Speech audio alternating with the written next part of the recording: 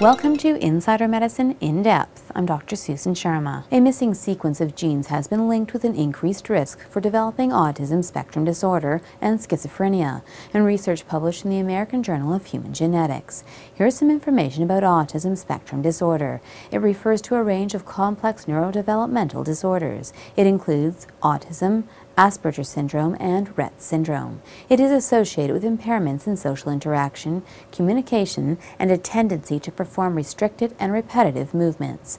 Researchers from Emory University conducted genetic testing on over 23,000 individuals with autism spectrum disorder, developmental delay, intellectual disability, and schizophrenia who were referred for clinical testing. They also tested over 52,000 individuals without any of these conditions who acted as controls. The investigators identified 15 consecutive genes normally on chromosome 17 that were missing in 24 of the affected individuals, but none of the controls. This sequence of missing genes includes one that has been linked with the development of cysts on the kidneys and diabetes.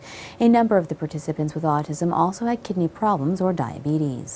The researchers calculated that individuals with these 15 missing genes are more than 13 times more likely to develop autism spectrum disorder or schizophrenia than individuals who are not missing these genes. Today's research helps clarify the link between genetics and the risk for autism spectrum disorder and schizophrenia.